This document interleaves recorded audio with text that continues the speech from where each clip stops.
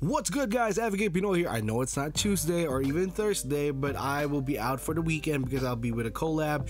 I just want to say thank you to everyone that shared my recent post, uh, the Hype Beast grade Photoshop tutorial, and even the uh, the the first Brandon Woelfel inspired photo. And this one, I posted this photo a few days ago. This is a picture of Maimai Lampos. If you want to check her channel out, and you know, and you can see her on the screen, that's Maimai. Uh, we took a few photos during our collab night and um, it was really fun and you know her photos uh, you know pretty much the standout so before i share to you guys the tutorial don't forget to hit that subscribe button and that bell button to get notified every time i come up with a new video so now here we go with a picture. This one is pretty yellow, and uh, I was surprised when I was editing it. I, I tried to make it bluish.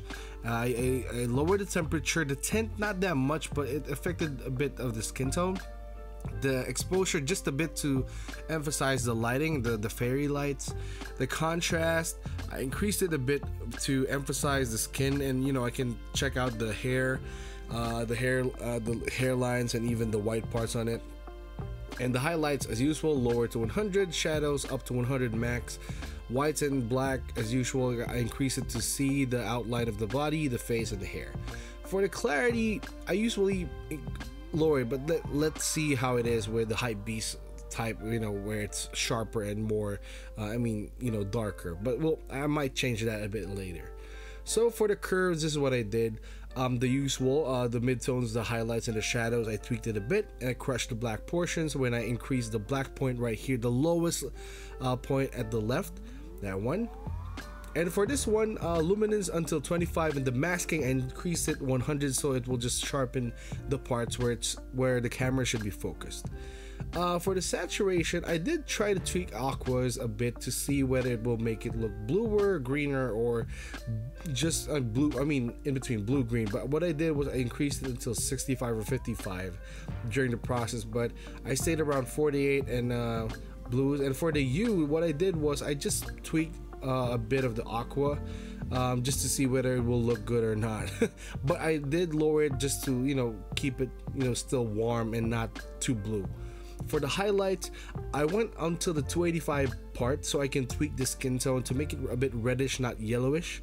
And for the shadows, just five uh, five points for saturation so I can just emphasize the bluish parts in this one. And my favorite, the camera calibration. Uh, I lowered the green primary and the blue primary, the hue of it, so I can see how blue it will go. So I kind of find it a bit too teal, but I do suggest that if you are editing this photo or your your photos, um, play around the settings not don't follow exactly what i did here it might look different on your end um, tweak around and play around with the settings and you know uh, go for the color and the vibe that will work for your photo okay? Just a suggestion don't do exactly what i do here. Just use this as a guideline. It might tweak your colors a bit. I started with a yellow and day i mean uh, like a warm color for my shot Alright, so I hope you guys enjoyed this really quick tutorial, a bonus one until I get back by Sunday. I'll be coming up with more vlogs and even tutorials and visual desserts. Also, make sure to check out our cover. Uh, Maimai Lampos and, and I uh, covered a song a few months ago. Uh, make sure to check it out. I will link it here and make sure to, uh, you know, for you like to listen to. It's a Tagalog song, so um, some of you guys who are not Filipino might not understand. anyway, that's all for now. Make sure to check out her channel, Maimai Lampos, and make sure to subscribe to my channel to get more updates every time I come up with a new video. Alright, that's always a life outside the hobby. Enjoy the good life. Peace out.